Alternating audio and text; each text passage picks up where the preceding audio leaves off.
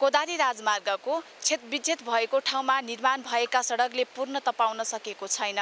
सडकहरू खाल्टा खुल्टी परेका छन्। पहिरोले सडक भत्किँदा उच्च जोखिममा सवारी साधनहरू सञ्चालन हुँदै आएको छ। यो तातोपानी नाकाको हालको अवस्था हो।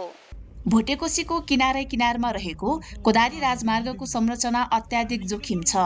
भर्खरै खोलिएको कच्ची ट्र्याकमा चले झै सवारी साधन जसो तसो गुडिरहेका छन्। राजमार्गमा रहेको बेलिब्रिजको पनि धराप उस्तै छ। जीर्ण बनेको सडक र बेलिब्रिज मर्मत नहुँदा यो मार्ग भएर नेपाल भित्रिने कन्टेनर र अन्य सवारी साधनले शास्ति खेपिरहेका छन्। नेपाल सरकारले पनि यो व्यापारिक नाकालाई ध्यानमा राखेर यहाँको राजस्व सङ्कलनमा अथवा राज्यलाई भएको टेवालाई ध्यानमा दिएर यो बाटोलाई मर्मत समार गर्नुपर्ने चाहिँ अति आवश्यक छ। त हामीलाई लाग्छ कोही सरकारको ध्यान नपुग्या जस्तो हामीलाई बेला बेलामा लाग्छ।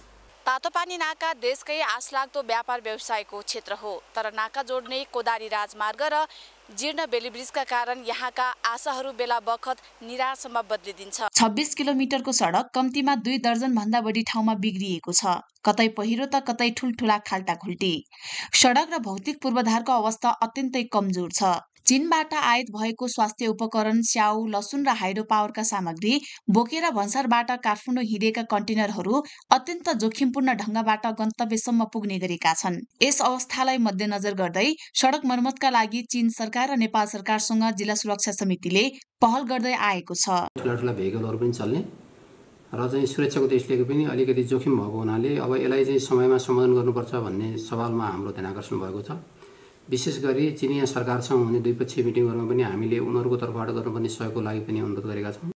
बाह्र विषयको सादी खोलादेखि लार्चसम्म पाँचवटा अस्थायी पुल बेलिब्रिजकै भरमा नाका सञ्चालनमा ल्याएको छ। कोदारी राजमार्गमा चिनिया ठेकेदार company railway construction company limited सिआरसिसीले दुई हजार त्रिहत्तर सालदेखि हालसम्म स्तर उन्नतिको काम गरिरहेको छ तर सडकको अवस्थामा सुधार आउन सकेको भने छैन। नेपाल र तातोपानी बीचको मैत्री सम्बन्धमा तातोपानी नाका एउटा महत्त्वपूर्ण घुम्ती हो।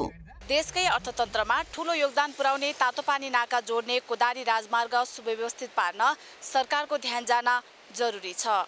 कान्तिपुर समाचारका लागि कमला पाक्सिन तातोपानी सिन्धुपाल्चोक।